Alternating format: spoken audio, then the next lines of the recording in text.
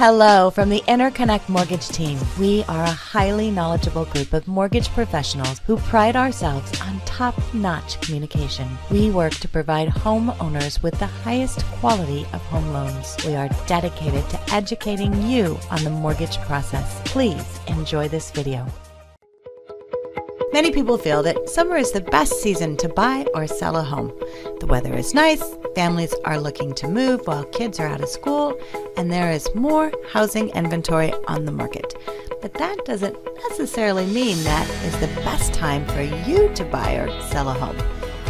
You've probably wondered does the time of year actually matter when buying a house? Seasonality affects many factors in home buying. The first is inventory which is the number of homes for sale. This also affects purchase price. During the spring, there is usually more inventory. However, competition among buyers may cause prices to rise. On the flip side, in the winter, there may be fewer homes on the market, but there may be fewer buyers as well, so prices may be lower. This is because moving in may be more difficult in some parts of the country depending on the weather. The best time for you to buy or sell a home isn't always when inventory is highest or when prices are the lowest. While these are surely important factors to consider, the broader, more important factor to look at is your personal need. The reality is that you can find houses during all seasons. Determining the best time to jump into home ownership means understanding the pros and cons of buying a house at different times and deciding when it's best for you. Let's look at how the time of year affects home buying, along with some other factors to consider beyond seasonality. Let's begin with buying a house in the winter months. If you're looking for a deal, winter is usually the cheapest time of year to purchase a home. Sellers are often motivated. Most people suspend their listings through the holidays, which is Thanksgiving to the New Year's because they assume buyers are scarce. Sellers who do list at this time usually want to sell as soon as possible. They may even be more willing to throw in extra perks, such as appliances and window treatments. Potentially lower purchase prices aren't the only savings. Real estate agents want to make sales during the slow periods and are more open to negotiating closing costs and commissions. However, while prices may be enticing during the winter, inventory is much more limited. Your dream home may be harder to find with a limited selection of houses. Winter may also mean that you have to do your house hunting in less than ideal weather, depending on which part of the country you live in. Despite winter home searching challenges, the closing process tends to be speedier. Lenders process fewer applications during this season. Real estate professionals are usually more accessible, and inspectors have less backlog. Let's move on to warmer times and look at buying a home in the spring. Spring is usually a hot time of the year for the real estate market. The warmer weather tends to draw out buyers and sellers, which creates a healthy marketplace. This could be a good or bad thing for you if you're looking for a new home. There certainly may be more choices, but there's also more buyers, which means more competition. You may even find yourself in a bidding war. One of the reasons sale inventory tends to increase when temperatures rise is because houses show better.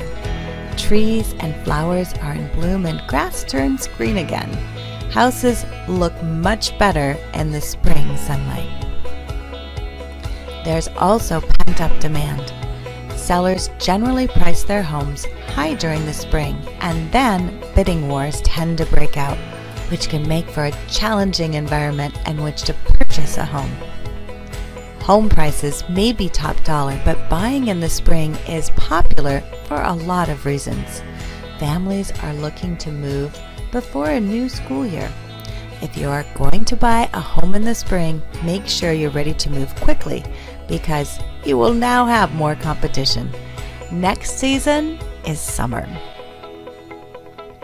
Like spring, summer is a busy buying season, But you may be able to take advantage of a deal if you're willing to wait until the last days of summer.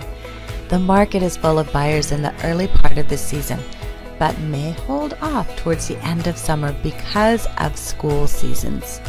Just like the spring season, be ready to move quickly if you find a house you like. Be prepared with a strong offer and not just on price. Always make sure that you are pre approved for your home with a lender. In most areas, the market tends to slow down in late August. This gives you a great opportunity to find deals because sellers slash prices even further. Don't blow off the houses that have been on the market during the whole spring and summer season. These can be great homes, and there are renovation loans for those homes that need some remodeling. There are many reasons why a home might not have sold during the spring or summer months. It may be as simple as a buyer backing out because their home didn't sell. Regardless, a home that has been on the market for an extended period may end up being a great find for you. Buying in the summer has its pros and cons, but timing matters a lot. If you can hold off until the end of summer, deals may abound. However, if you need to get into a home before August, expect to pay top dollar and move quickly with your offer.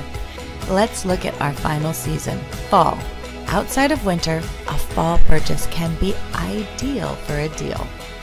Once summer ends, sellers get more motivated. They usually lower their prices and provide an opportunity to get a deal. Just like in the winter months, there will be fewer houses for sale in the fall months. But there will also be fewer buyers to compete with Many sellers want to avoid moving during the holiday season, which gives you more room to negotiate when you do make an offer. You also get more attention from your real estate agent during the fall. Real estate agents have more free time to spend with you in the autumn months because of a decline in the number of sellers. Sure, seasonality plays an important role in the home buying process, but there are other, sometimes equally important factors to consider when determining the best time for you to buy a house. The real estate market may fluctuate with the seasons, but there are broader market trends that influence housing prices, inventory, and current interest rates. For example, lower interest rates in response to the COVID 19 pandemic and related economic struggles in 2020 had an effect on the housing market. Even when house prices are low, you'll want to consider how mortgage interest rates affect your total expenditure over the life of the loan. The savings from a good purchase price may be quickly offset by a high interest rate. With interest rates at historic lows right now, many homebuyers are taking advantage of this chance to save big on interest. Even though demand and prices have gone up, plenty of people are finding it a good time to buy a house. One of the most important factors to consider when buying a home is your personal readiness. No matter the season, you'll want to make sure your credit is in good shape. Your debt is under control and you are working with a great lender who can help you through the process and find the best home loan for you. Buying a house is a big commitment and timing your purchase is important. Each season brings with it both positive and negative factors when shopping for a home, including inventory, competition, and prices.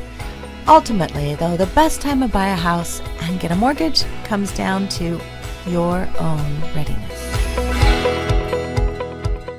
Thanks for watching. We are here to answer your questions and help you through the process. You can reach us online at www.interconnectmortgage.com. We look forward to working with you.